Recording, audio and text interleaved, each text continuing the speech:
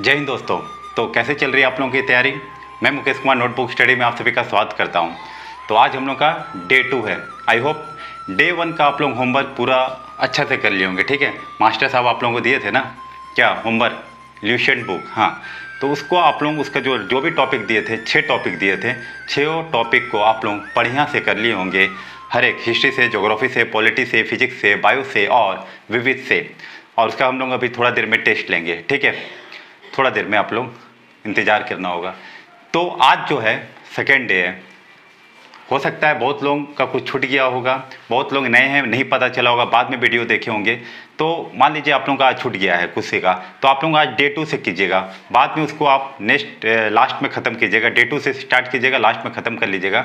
और दूसरी बात ये है कि एक दो लोग पूछ रहे थे कि, सर, मेरे पास ये बुक है, आप पेज नंबर दे दीजिए। देखिए पेज नंबर दे देंगे तो फिर आपको थोड़ा दिक्कत हो जाएगा। अगर मेरे पास नया बुक है और आपके पास पुराना बुक है तो फिर मिसमैच हो जाएगा। टॉपिक देखिए टॉपिक आपको जो मिल रहा है ना, उसको आप अपने बुक से मिला लीजिए और आराम से आप उससे पढ़िए, ठीक है? अगर ल्यूशेंट है तो अच्छी है, बहुत अच्छी बात है। क्रॉन है क्रॉन से पढ़िए घटना चक्र है, जो भी बुक है। तो चलिए, बिना किसी देरी के शुरू करते हैं। डे टू का जो आपका टॉपिक है, उसको हम लोग कवर करेंगे और उसके बाद तीस क्वेश्चन का सेट जो आप लोगों को छः टॉपिक दिया है, एकदम उसी से चुन चुन के मैं लेके लेके आया हूँ, ठीक है? और तीस में आप लोगों को अच्छा मार्क्स लेके आना है ओके तो मेरे साथ बने रहिएगा। पूरा वीडियो देखिएगा समझ में अच्छा से आ जाएगा ठीक है? आइए। तो डे टू का जो आज का टॉपिक है हिस्ट्री से सबसे पहले देखिए एक हार्ड लेंगे एक ईजी लेंगे तब जाके बैलेंस होगा आप लोगों का आराम से जो है कवर हो जाएगा।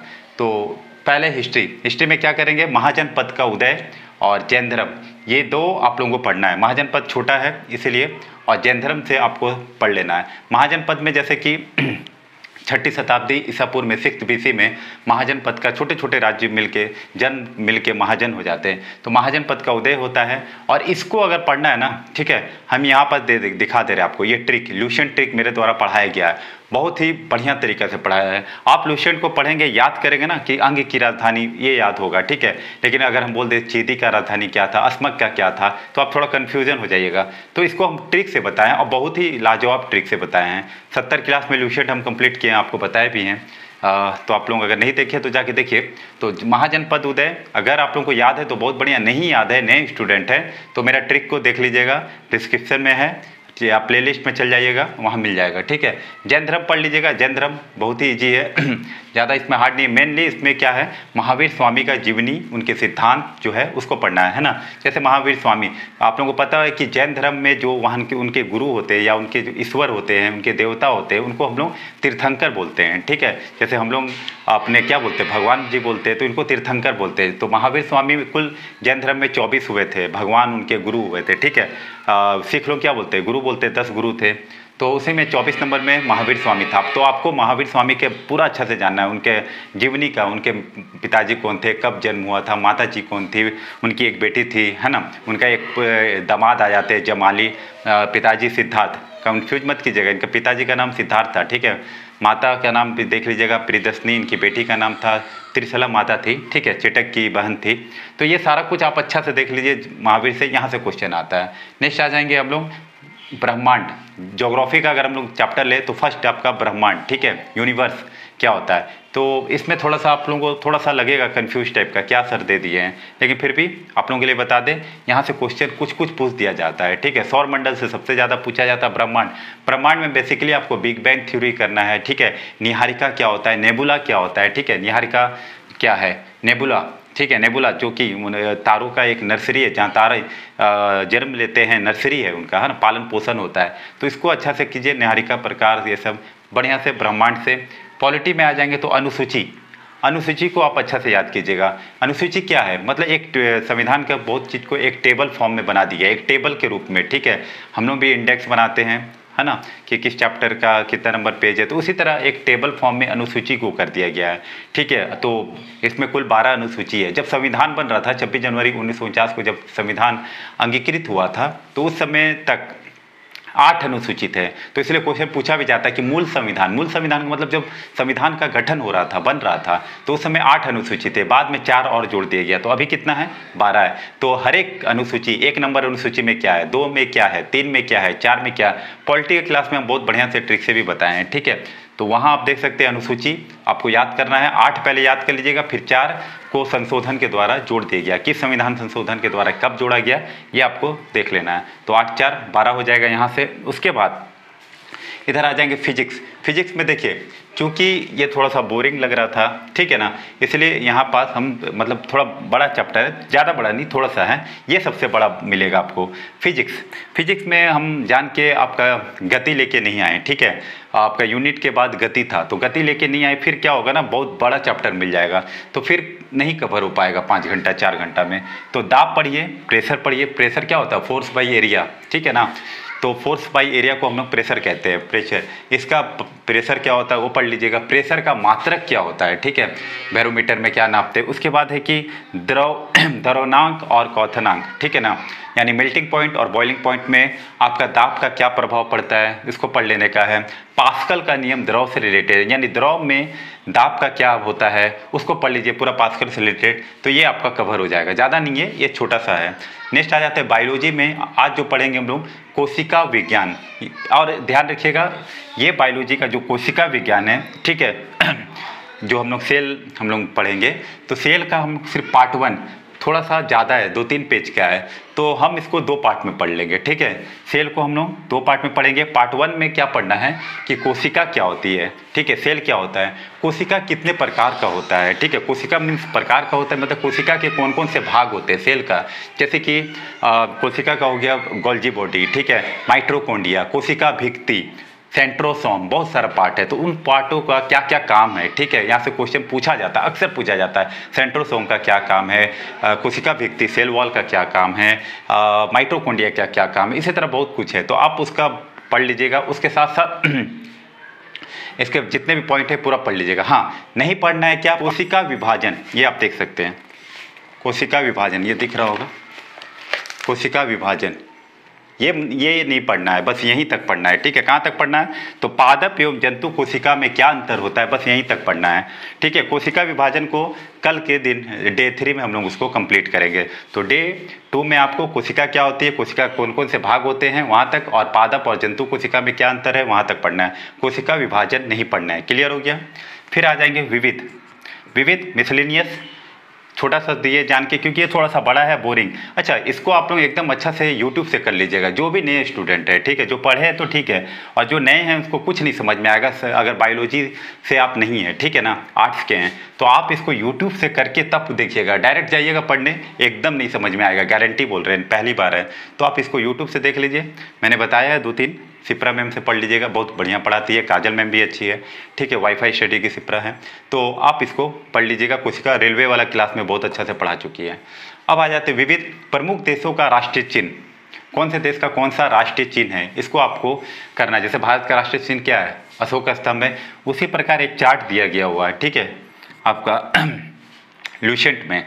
तो आठ नंबर में था सात। शायद सात नंबर टॉपिक्स में होगा, ठीक है? सेवन देख लीजिएगा, मे बी ऊपर नीचे हो सकता है। तो प्रमुख देशों का राष्ट्रीय चिन्ह, ज़्यादा नहीं है, इतना बड़ा बॉक्स है लगभग दस बारह देशों का प्रमुख है। तो आप वहाँ से उस देश का राष्ट्रीय चिन्ह क्या है? किस देश का राष्ट्रीय चिन्ह? गुलाब का फूल है। किस देश का राष्ट्रीय चिन्ह? कंगारू है। किस देश का राष्ट्रीय चिन्ह? आपका एफिल टावर है। ये सब आपको ध्यान रखना है, ठीक है? तो ये प्रमुख देशों का इतना कर लीजिए। तो आपको डे टू का होमवर्क मिल चुका है। चलिए अब आप लोग मुझे कमेंट करके बताइएगा। जो टेस्ट था तीस क्वेश्चन का अब हम लोग टेस्ट दे, लेते हैं ठीक है? मैं तीस क्वेश्चन का टेस्ट लेता हूँ। आप लोग मुझे कमेंट कीजिएगा एकदम ज़रूर कमेंट कीजिएगा। अगर हम मेहनत कर रहे हैं तो आपको भी मेरे साथ मेहनत करना है। ईमानदारी पूर्वक टेस्ट दीजिएगा। वीडियो को क्या होगा ना जब एक क्वेश्चन हम करेंगे तो हम उसका आंसर दो सेकंड के बाद बता देंगे। लेकिन अगर आपको ज़्यादा टाइम दीजिए तो वीडियो को पॉज कर दीजिएगा। चार ऑप्शन रहेगा, सोचिएगा आंसर दीजिएगा। इस हिसाब से, ठीक है? तो चलिए, उसमें मुझे कमेंट कीजिएगा कि तीस को में आप लोगों का कितना सही हुआ है, ठीक है? तो आइए, मिलते हैं हम लोग क्वेश्चन सीरीज़ में। तो आइए फ्रेंड अब हम लोग डे वन का जो आप लोगों का होमवर्क सीरीज़ दिया गया था, उसमें तीस क्वेश्चन मैं पूछूँगा और इसमें तीस क्वेश्चन में आप लोगों को कम से कम आपको 24 लाना है, ठीक है? 80 परसेंट लाना है। तब जाके समझेंगे कि हाँ आपका जो है तैयारी बढ़िया से, जितना मैं आपको होमवर्क दिया हूँ तो आपका जो है, आप उस होमवर्क को करके आए हैं। चलिए, बिना किसी देरी के शुरू करते हैं। तो पहला जो क्वेश्चन है डे वन का, आपका छः टॉपिक में, वह पॉलिटी से है कि प्रस्तावना की भाषा किस देश से ली गई है? America, B France, C Australia, D Britain. आप मैच कर लीजिएगा, मैं दो सेकेंड टाइम दे दूँगा। प्रस्तावना की भाषा किस देश से ली गई है?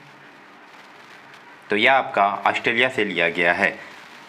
तो बता दें कि प्रस्तावना जो जैसे हम भारत के लोग जो है, वह जो आप प्रस्तावना का जो देख रहे भाषा, वह कहाँ से है? वह ऑस्ट्रेलिया के ही संविधान से लिया गया है। नेक्स्ट क्वेश्चन की ओर आते हैं अब हम लोग। सेकेंड है, रॉबर्ट ब्रूस फुट ने पूरा पाषाण काल की औजारों की खोज कब की थी? आपके पास ऑप्शन है अठारह सौ तिरसठ, अठारह सौ छप्पन, अठारह सौ छिहत्तर या अठारह सौ सतासी। दो सेकेंड का टाइम दे रहा हूँ। तो इसका सही आंसर होगा दो का, आपका अठारह अठारह में पूरा पाषाण काल की खोज आपका जो औज़ार है, उसका खोज रॉबर्ट ब्रूसफुट द्वारा किया गया था। थर्ड नंबर में आते हैं, तीन नंबर। वैज्ञानिक आधार पर भारत की जनसंख्या का प्रथम बार किसने विभेदीकरण किया है? बुक से लिया गया यह क्वेश्चन है। रॉबर्ट ब्रूसफुट बी कनिंघम के द्वारा, सी रिजले के द्वारा या डी मार्शल जी के द्वारा। किन्होंने भारत की जनसंख्या को वैज्ञानिक आधार पर विभेदीकरण किया है? तो इसका सही आंसर आप लोग मुझे कमेंट में बताइएगा। कितना आप लोगों का स्कोर आ रहा है बताइएगा। तो इसका सही आंसर तीन का सी हो जाएगा। नेक्स्ट आते हैं। सौर मंडल से बाहर। बिल्कुल एक जैसा दिखने वाला जुड़वा पिंडों का समूह कौन सा है? जुड़वा पिंडों का समूह है, ठीक है? कौन सा है? आपको ध्यान देना है। A, Phobos, B, Planemos, C, Olympia या डी, चेरॉन। चलिए आंसर दीजिए। सौर मंडल से बाहर की बात हो रही है। बुक में दिया गया था। ध्यान से पढ़े होंगे तो इसका सही आंसर होगा चार का बी प्लेनेमस ध्यान रखिएगा प्लेनेमस फोबोस क्या है? फोबोस जो है आपका फोबोस और डिपोस मंगल ग्रह का, ये आपका उपग्रह है। ओलंपिया जो है आपका, ये ओलंपिया भी जो है आपका सौर मंडल का सबसे बड़ा पर्वत है, जबकि चोरौन जो है बौना ग्रह है। ठीक है? नेक्स्ट आते हैं। पाँच नंबर में सूर्य का व्यास कितना है? सूर्य का, सन का डायमीटर कितना है? ए बारह लाख बानवे हज़ार किलोमीटर जोड़ लीजिएगा। बी, तेरह लाख बानवे हज़ार किलोमीटर। सी, आपका चौदह लाख बानवे हज़ार किलोमीटर या डी, ग्यारह लाख बानवे हज़ार किलोमीटर। सूर्य का व्यास तो बी इसका सही आंसर हो जाएगा। आप लोग पॉज करके इसको आप आंसर दीजिएगा, ठीक है? क्वेश्चन मैं जब बोल दूँ पॉज कर दे, फिर समझ के दीजिएगा। चलिए नेक्स्ट है। छः, मूल मात्रकों की संख्या कितनी है? फिजिक्स से है, मैंने बताया था मात्रक है। कितने मूल मात्रक है? सात, पाँच, आठ या नौ? आंसर दीजिएगा। तो छः का जो सही आंसर होगा, वह आपका सात हो जाएगा। सात फंडामेंटल यूनिट है, ठीक है? जबकि डिराइव्ड यूनिट इसी से फंडामेंटल यूनिट से, मूल मात्रक से बनाया गया है। नेक्स्ट आते हैं। सात नंबर, इनमें से कौन मूल मात्रक में शामिल नहीं है? लंबाई, द्रव्यमान, आवर्ती या ज्योति, त्रिविता। जो सात मूल मात्रक है, इसमें से कौन शामिल नहीं है? तो सात का सही आंसर हो जाएगा। आप पॉज करके इसका सोच के आंसर दीजिएगा। तो सात का आवर्ती जो है, मूल मात्रक नहीं है, यह डिराइव यूनिट से व्युत्पन्न मात्रक है। ठीक है फ्रेंड सात का सी नेक्स्ट आते हैं आठ। मैग्नी नॉट रेखा किन दो देशों की अंतर्राष्ट्रीय रेखा, अंतर्राष्ट्रीय सीमा है? दो देश का। ठीक है? ये लिया गया है आपका विविध से। अमेरिका और कनाडा का है, जर्मनी पोलैंड का है, भारत और चीन का है, जर्मनी और फ्रांस का है। चलिए आठ का आंसर जो होगा। सही आंसर हो जाएगा आपका। जर्मनी और फ्रांस का जो अंतर्राष्ट्रीय सीमा रेखा दोनों देशों की जो अलग बांटता है, वह है मैग्नी नॉट रेखा। ध्यान रखिएगा, जर्मनी और फ्रांस हो जाएगा। जबकि अमेरिका और कनाडा जो होता है ना, इसका उनचासवीं समानांतर रेखा कहते हैं। भारत, चीन जो है, वह आपका मैकमोहन रेखा कहते हैं। ठीक है, आइए, नौ नंबर पूर्व पाषाण काल में जीविका का मुख्य आधार क्या था? ए, शिकार, बी, कृषि, सी, पशुपालन या डी, उद्योग। चलिए आंसर दीजिएगा, पूर्व पाषाण काल में जीविका कैसे वो लोग चलाते थे? शिकार करके चल, चलाते थे, कृषि, पशुपालन। तो सही आंसर नौ का जो होगा, वो आपका शिकार हो जाएगा। पूर्व पाषाण यदि एकदम पहले का, एकदम मानो जब एकदम शुरुआत का काल है तो वो लोग शिकार करते थे, जंगली जीव जंतु को मार के खा लेते थे, है ना, पत्थर का औज़ार बना के। नेक्स्ट आ जाते हैं दस।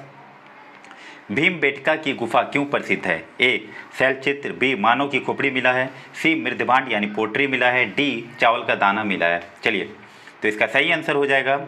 दस का जो होगा, वह शैल चित्र होगा। दस का क्या होगा? शैल चित्र शैल चित्र मतलब Bhimbetka Bhimbetka actually में भीम बेटका जो है, वह मध्य प्रदेश में है। वहाँ गुफा है। तो शैल चित्र। शैल मतलब क्या होता? है पत्थर, चट्टान। चट्टान के ऊपर में चित्र बनाया गया है। ठीक है? तो इसे ध्यान रखिएगा। नेक्स्ट आते हैं। ग्यारह।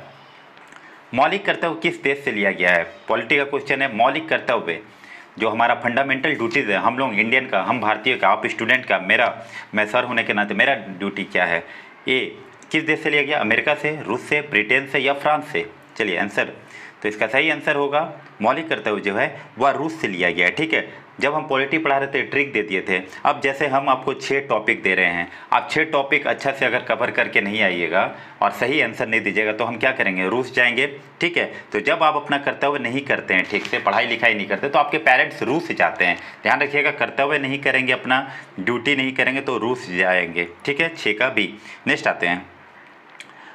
ओलिपस मैसी, जो सौरमंडल का सबसे बड़ा ज्वालामुखी है, किस ग्रह पर स्थित है? पृथ्वी पे, मंगल पे शुक्र पे या शनि पे? चलिए आंसर दें इसका।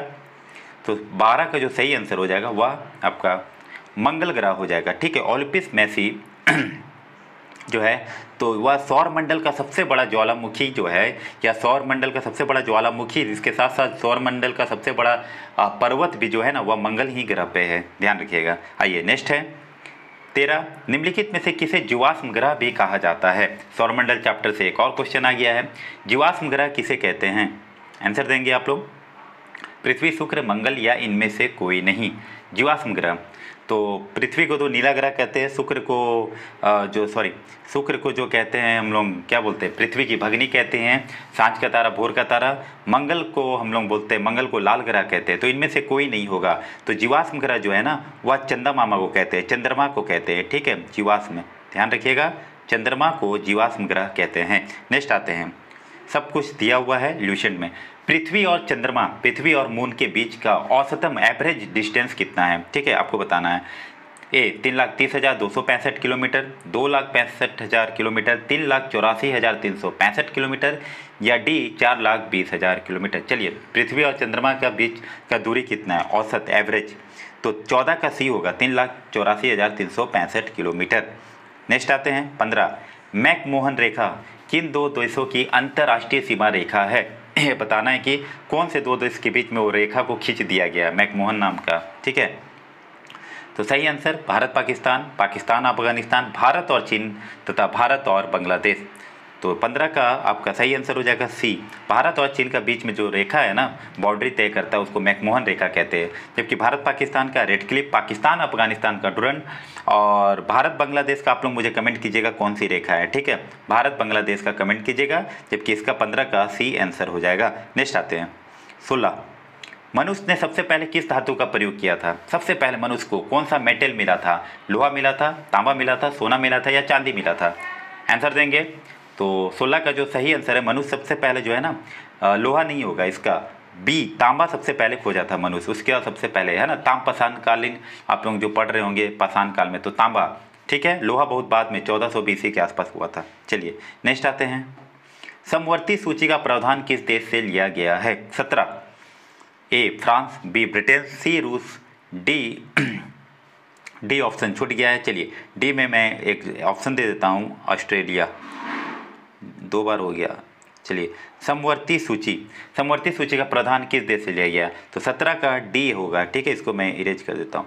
सत्रह का डी, ऑस्ट्रेलिया से समवर्ती सूची लिया गया। समवर्ती सूची मतलब जिस पर केंद्र सरकार और राज्य सरकार दोनों कानून बना सकता है। तीन सूची है, पॉलिटी के क्लास में पढ़ाया हूँ, ठीक है? अठारह। आधुनिक वर्गीकरण का पिता किसे कहा जाता है? ए, अरस्तु को, बी, कार्लिनियस को, सी, बुस्नर को या डी, मैंडलिफ को? आधुनिक वर्गीकरण, फादर ऑफ़ मॉडर्न टेक्सोनोमी। चलिए बताइए, अठारह का। तो सही आंसर होगा, आपका कार्लिनियस को ही आधुनिक वर्गीकरण का पिता कहा जाता फादर ऑफ़ मॉडर्न टेक्सोनॉमी ठीक है? अरुस्तु को नहीं कहा जाता फादर ऑफ़ जूलॉजी अरुस्तु को कहा जाता है, जबकि मेंडलेव मटर के पौधे में आनुवंशिक से संबंधित हैं। नेक्स्ट है, उन्नीस।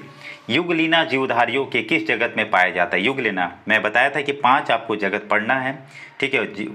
ए, मोनेरिया में, बी, प्रोटिस्टा में, सी, कवक में या डी, पादक में। युगलीना, कहाँ पाया जाता? है मोनेरा प्रोटिस्टा कवक तो 19 का बी प्रोटिस्टा जो है ना, इसका सही आंसर हो जाएगा। जबकि मोनरे मोनेरा में जनरली बैक्टीरिया पाया जाता है। नेक्स्ट आते हैं, बीस। धान का वैज्ञानिक नाम क्या है? A Oryza sativa, B, Pisum sativum, C, Bos indicus, D, Rana tigrina. चलिए, बीस का आंसर दें। पॉज कर लीजिएगा। तो बीस का जो सही आंसर है, वह आपका ओर्जिया सेटिवा होगा, धान का वैज्ञानिक नाम। ओके? जबकि पीशियम सेटिवियम जो है मटर का है। बॉस इंडिकस आई थिंक गाय का है हाँ। और राना टिग्रिना मेढक का है। ठीक है सो सही आंसर पीस का ए नेक्स्ट आते हैं। इक्कीस नंबर। आग का आविष्कार किस काल की घटना है? पूरा पाषाण काल, मध्य पाषाण काल या नौ पाषाण काल? पाषाण काल को तीन भाग में बांट दिया ना? तो अब आपको बताना है कि सबसे पहले आग का आविष्कार किस काल का? तो सबसे पुराना जो है, एकदम शुरुआत में पत्थर से जो आग लगा, निकालते थे। सबसे पूरा पूरा मतलब बहुत पुराना पाषाण पाषाण मतलब पत्थर। तो सबसे पुराना, पूरा पाषाण काल का। जबकि मध्य पाषाण काल आपका और नौ पाषाण काल में मध्य पाषाण काल पशुपालन हो जाएगा और नौ पाषाण काल कृषि। हालाँकि पशुपालन और नौ पाषाण कृषि जो है ना साथ साथ चल रहा था। लेकिन अगर कभी ऑप्शन आ जाए तो नौ पसान काल में आप कृषि मारिएगा मध्य पसान काल जो है पशुपालन। ठीक है? चलिए नेक्स्ट आ जाते हैं। बाईस। उनचासवीं समानांतर रेखा किन दो देश को जोड़ती है? फिर सीमा रेखा आ गया, आपका विविध से क्वेश्चन तो इसका सही आंसर जो हो जाएगा ट्वेंटी टू का। उनचासवीं अब सोचिए, ज़ीरो से हम चल रहे हैं विश्वत रेखा ज़ीरो से अक्षांश रेखा की तरफ़ तो उनचास एकदम ऊपर में हो गया। तो ऊपर में क्या है? ऊपर में आप अगर वर्ल्ड मैप देखते हैं तो कनाडा है। कनाडा के नीचे यूएसए है। तो यूएसए और कनाडा के बीच में हो जाएगा। तो बाईस का ए सही आंसर हो जाएगा, ठीक है? उनचासवीं समानांतर, एकदम टॉप पे। नेक्स्ट आ जाते हैं। तेईस। इनमें से कौन बौना ग्रह नहीं है? बौने ग्रह, ठीक है? आपको आंसर देना है। A Ceres B Pluto C Proxima Centauri या डी चेरोन कौन इसमें से बोना? तीन बोना ग्रह है और एक नहीं है। तो सेरस प्लेटो और चेरोन ये तीनों बोना ग्रह तो सही आंसर तेईस का सी होगा। प्रोक्सिमा सेंचुरी ये क्या है? ये सबसे चमकीला तारा है। ठीक है, पृथ्वी के सबसे निकट चमकीला तारा कौन है? प्रोक्सिमा सेंचुरी जबकि सेरस क्या है? बोना ग्रह प्लूटो क्या है? बोना ग्रह है। चेरोन क्या है? बोना ग्रह है। आई होप इतना क्लियर हो गया होगा। कमेंट कीजिएगा ज़रूर कितना आया। तभी मुझे भी अच्छा लगेगा कि हाँ चलिए, मेरा पढ़ाया वो आपको समझ में आ रहा है। चलिए, कोई बात नहीं। क्षुद्र ग्रह किन दो ग्रहों के बीच पाया जाता है? चौबीस का आंसर देंगे। क्षुद्र, बुध और शुक्र के बीच क्षुद्र, बी, शुक्र और बृहस्पति, सी, मंगल और बुध, डी, शुक्र और पृथ्वी के बीच। चलिए, क्षुद्र ग्रह किन दो ग्रह के बीच पाया जाता है? तो 24 का जो सही आंसर होगा, पॉज कर लीजिएगा और आंसर दीजिएगा। बुध और शुक्र 24 का ही। अच्छा कैसे याद कर लेंगे? तो क्षुद्र को ना आप क्या कीजिए ना, सॉरी क्षुद्र ग्रह जो है थोड़ा सा इसमें क्षुद्र का कैंसर गलत है है ना? तो चौबीस का जो होगा, मैं यहाँ मंगल और बृहस्पति। फ्रेंड, मंगल। ए में आप कर लीजिएगा, इसको हटाइए।